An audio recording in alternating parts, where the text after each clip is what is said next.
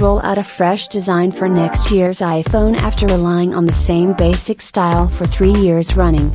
We still don't know exactly how it will turn out, but a new concept design for the 2017 smartphone, potentially called the iPhone 8, makes the iPhone 7 look pretty boring by comparison.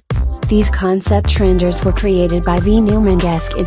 Geskin's iPhone 8 concept combines a few popular theories. The device features a wraparound display like Samsung's Galaxy Note 7 and Galaxy S7 Edge, but falls short of the full screen display some reports have promised. There is no way to quench the thirst for information about future iPhones. As such, analysts and pundits will continue to dig to find new tidbits on Apple's new phones far in advance of launch. The latest report comes from Barclays Research, which says Apple is aiming to launch new iPhones next year with curved displays.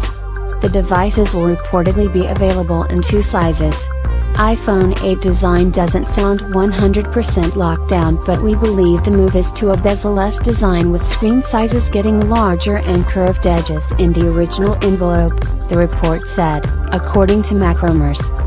The iPhone moves to 5-inch, from 4.7, and the Plus moves to 5.8-inch, from 5.5. Several other reports have suggested Apple is indeed planning to make big changes to the iPhone next year. That's all for now. For more news, stay tuned. If you like the video, like and subscribe for more. And be sure to leave a comment down below. Bye.